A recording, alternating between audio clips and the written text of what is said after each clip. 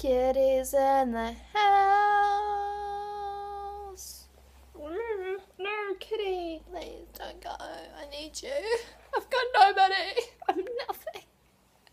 Please, Kitty, come back.